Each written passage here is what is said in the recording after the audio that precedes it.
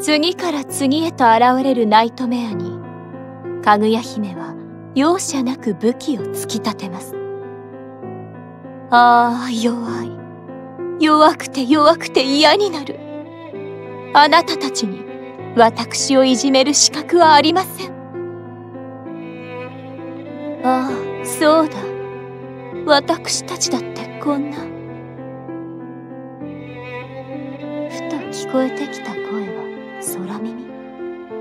それとも誰かのこだまでしょうか？かすかな予感がかぐやの豊かな胸をざわめかしました。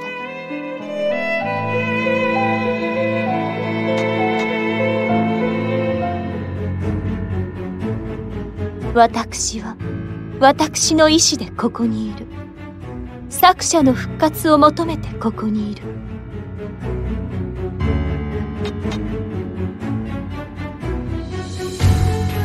私をいじめてくれる存在を心焦がれるままに探し求めて。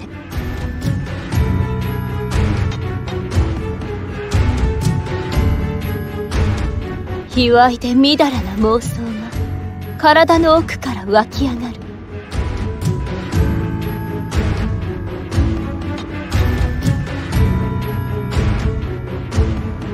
陰微で卑しい衝動に体が勝手に動き出す。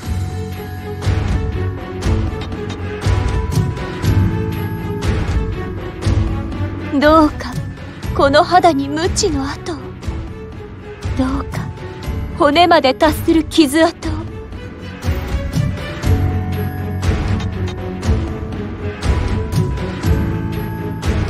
どんなに愚かな望みでもそれは私自身の思い。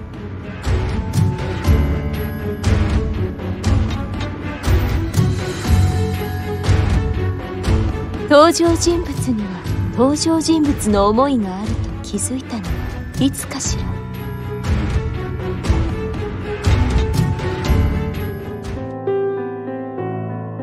今私が生きる物語。そこに出てくるナイトメア。あなたたちにも意志はありますか？ずるりと闇の中から這い出た強そうな影にかぐや姫は頬をあからめます。あああの糸にぐるぐるに巻かれて八本の足でぐさぐさと疲れて鋭い牙でむしゃむしゃと捕食されたら考えるだけでたまらない。さあクモさん私を食べてくださいな。歓喜を持って投げかけたその言葉にナイトメアの体が震えましたああそうだ。私は雲だっ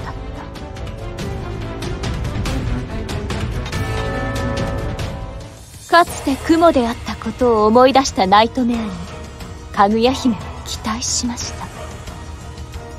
知性があるなら言葉があるなら意志があるならそして力があるのなら私をいじめる資格は十分です。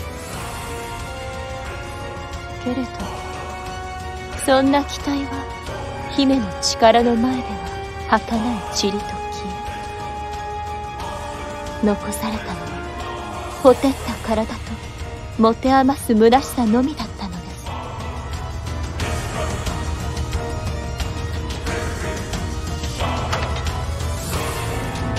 深い深いライブラリの森の中かぐや姫は空を見上げて悲しげに目を細めました。だって誰も彼も彼女より弱いのです。彼女はただ自分よりも強い存在にお仕置きしてほしいだけなのに。それなら簡単。体がダメなら心を犯してもらいましょう。義心と暗鬼の提案にかぐや姫は目を輝かせました。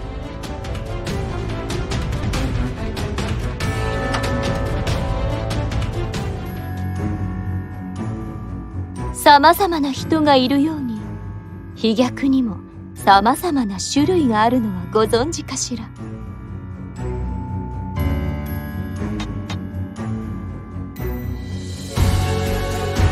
肉体的苦痛は体の喜びを想起させる。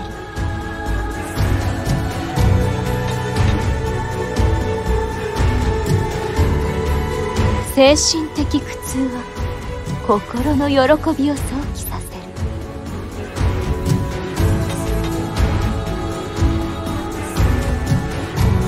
痛み。痛み。痛み。感じるたびに。生きる意味を考える。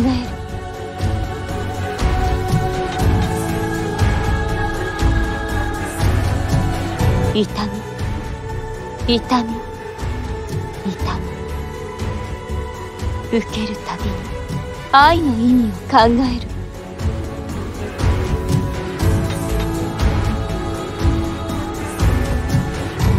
私は苦痛を通じて愛を感じたい。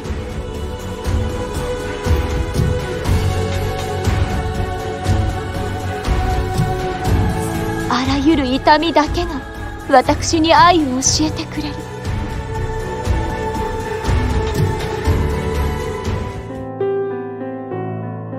ああいとおかしこの世は痛みに満ちている。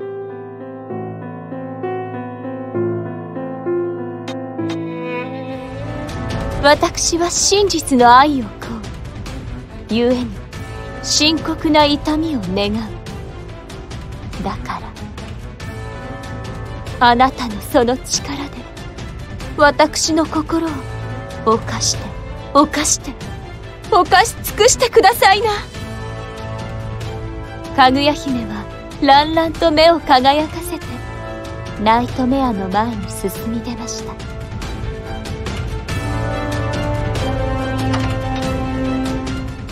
た。悲しいまでにまともなままで。かぐや姫はナイトメアを倒しました。倒してしまいました。姫の強靭な心にナイトメアの刃は届かなかったのです。強すぎる己の体。震えぬ己の心。報われぬ飛躍の姫はただ静かに涙を流しました。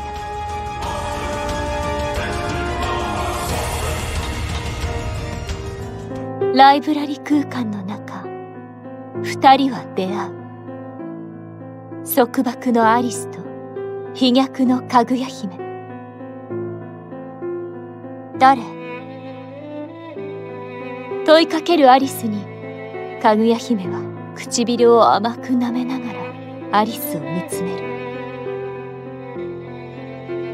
あのとても強くて私を苦しめてくれるのであれば誰でも構わない気分なんですけど。その言葉を遮るようにナイトメアが大地から染み出してきた。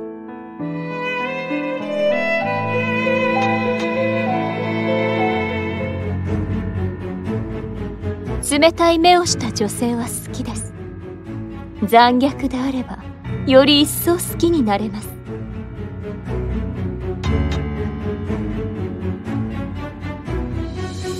自分の汚れた欲望のために戦う人。だが私には他人を責める権利はない。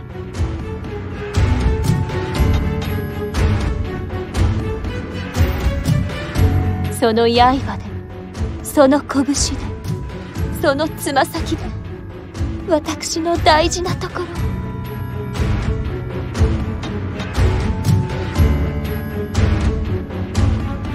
迷ってはいけない。剣先が揺れるから。信じてはいけない。立ち筋が歪むから。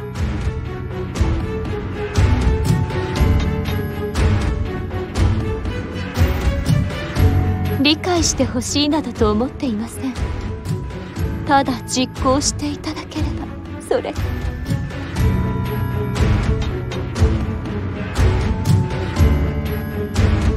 どんな命にも意味はある。だが殺す側が病んでいたらどうだろう。私たちのように。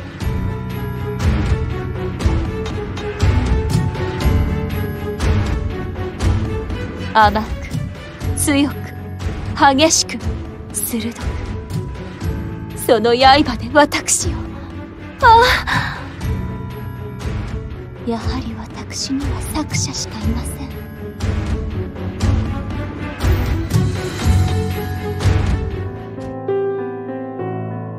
彼女の祈りが届くことはない。私の敗北を意味するから。そのことだけは許容しない。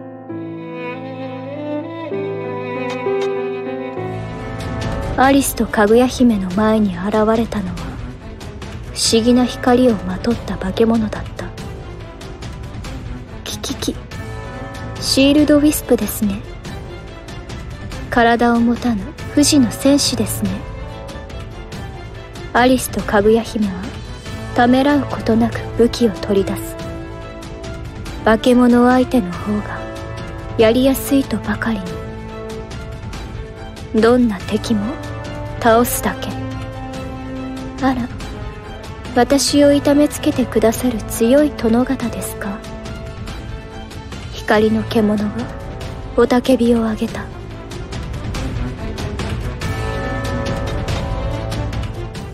不死という割には大して強くありませんでしたね。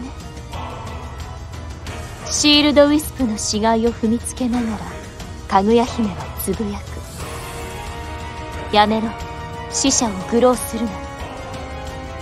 アリスが冷たく言い放つ。その瞬間かぐや姫は一瞬恐ろしい顔をして再び甘い笑顔をもっと強くなってくださいね。私に殺されない程度には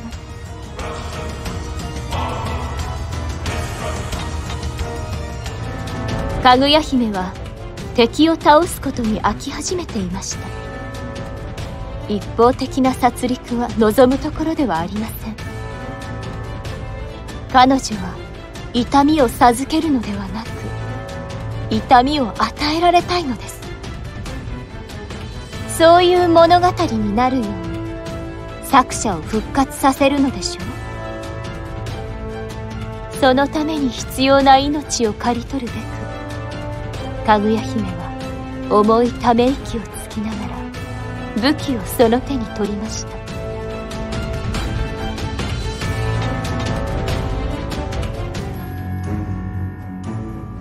ふと恐れて目を覚ます。もしそうだったらどうしようと。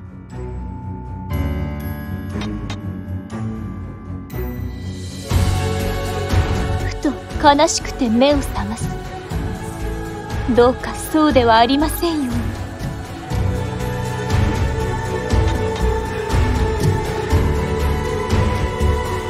私の恐れそれは事実であってはならぬこと。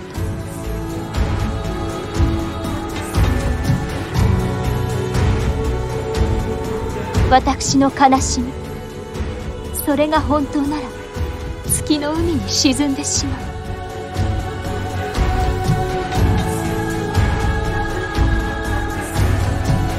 それはおじいさんやおばあさんと離れるより辛いこと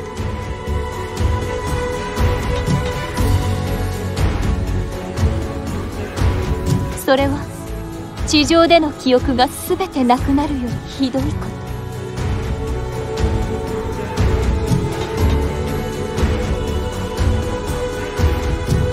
けれど多分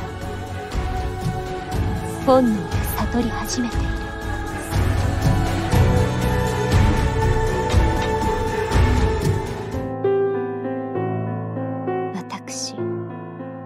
私は私のこの力は。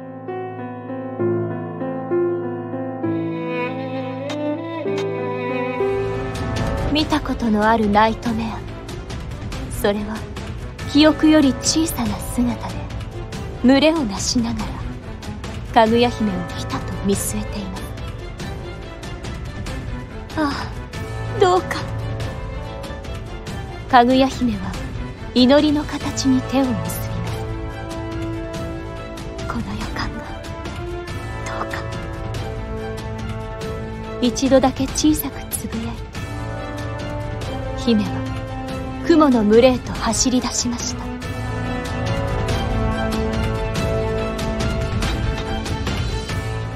次々と襲いかかる群れをなぎ倒しながらかぐや姫は一つの答えを得ていました。けれどその答えは彼女にとって一番嫌なものでした。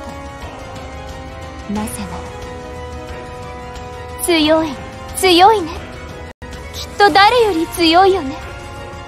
かぐや姫は。やめて。それは得てはならない答え。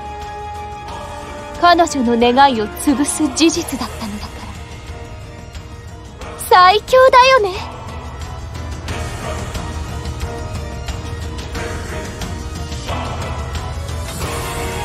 群れをなぎ倒し。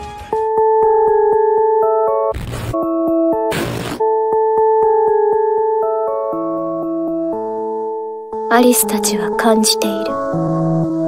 冷たく不気味な違和感。